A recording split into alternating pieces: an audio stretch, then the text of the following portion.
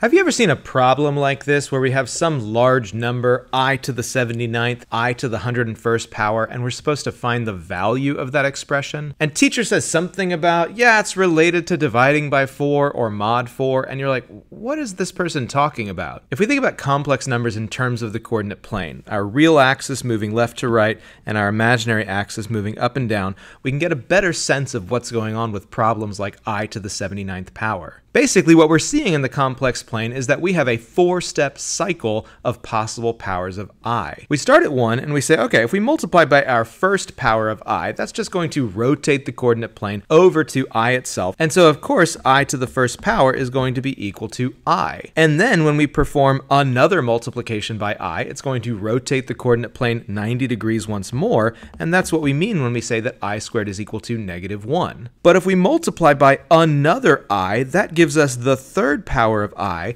which we can now see through another rotation takes us over to negative i. So that's what we mean when we say that i to the third is equal to negative i. Finally, as we multiply one more time, we get that i to the fourth is going to be equal to 1, and the important thing to recognize here is we're back where we started. So every other subsequent power of i is just going to follow this same pattern. i to the fifth is going to be i, in the same way that i to the first was equal to i. i to the sixth is going to be negative 1, in the same way that i squared was equal to negative 1. This is why your teacher talks to you about powers of i coming in some sort of cycle of fours, or thinking of them in terms of mod 4 of the power itself. When I want to compute something like like i to the 79th, I only need to figure out where it fits in this cycle. I can tell that the cycle begins at 1 every single time when my exponent actually is a multiple of 4. And then every number greater than a multiple of 4 by 1 is going to be equal to i. Every number with an exponent greater by 2 than a multiple of 4 is going to be negative 1. Every number with an exponent 3 greater than some multiple of 4 is going to be equal to negative i. And again, that takes me back back to every multiple of 4 power,